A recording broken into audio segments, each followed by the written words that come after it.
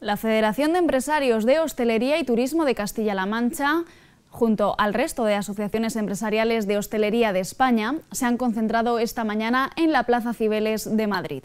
Protestan ante la situación que atraviesa el sector y la falta de concreción, dicen, en los planes de apoyo al sector por parte del Gobierno central.